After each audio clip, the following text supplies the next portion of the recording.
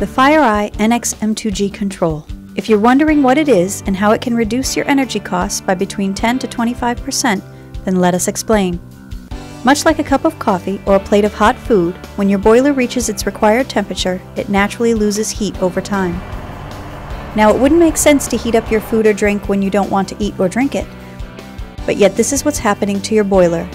It's heating up when you don't actually have a need for it. The NX-M2G can stop this from happening, which in turn will save you money, energy, and reduces your carbon footprint. So why is the NX-M2G required, you may ask? First of all, your boiler fires up heating the water inside.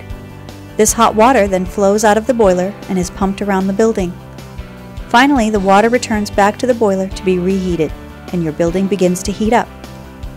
Most commercial properties will have a number of boilers working together to meet the demands of the building's size. At the beginning of the day, when the building is cold, the boilers fire to warm the property. Slowly, the building starts to heat up, but the boilers continue to fire until the building itself reaches its required temperature. Once the building's desired temperature has been met, the boilers will stop firing. The demand for heat has been met and they start to cool. As the boilers start to cool, they can fire again to keep hot even though there isn't a need for heat in the building. This is what's known as dry or standby cycling. So how does the NX M2G work? The control works by detecting when it's necessary for the boiler to stop and when to go. By taking measurements every second, the control can see if there's a real demand for heat or if the boiler is dry or standby cycling. The NX-M2G does this by measuring the boiler's temperature as the water flows out of the boiler and as it returns.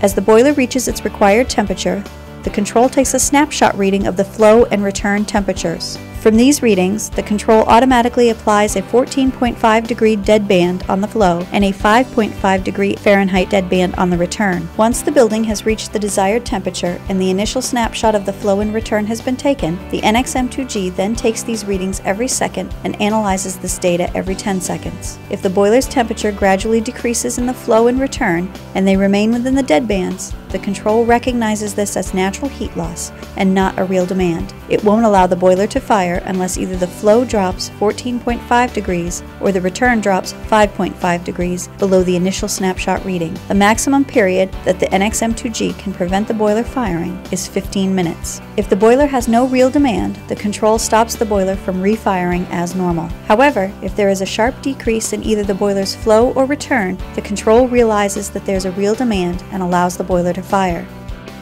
The control identifies whether there is a need for heat or if the boiler is merely standby cycling.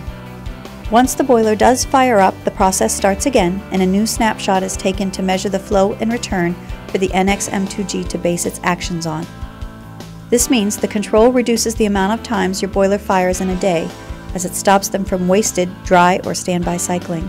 Perhaps you have already invested in a BMS, weather compensation system, or sequencing system.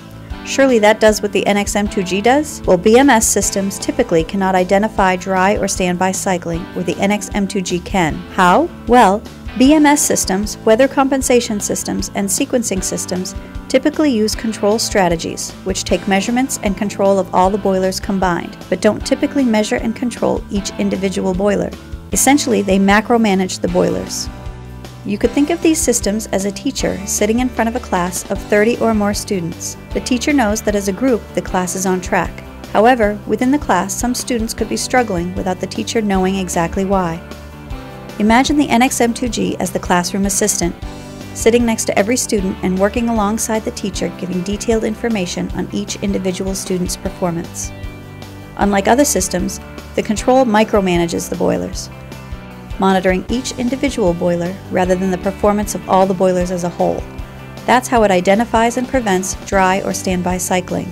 What you might not realize is that BMS systems and the NXM2G work exceptionally well side by side. In fact, many users install NXM2Gs alongside their existing BMS systems. And where an NXM2G is in place, users typically experience energy cost reductions between 10 to 25% across their organization. The typical payback periods can also be very attractive.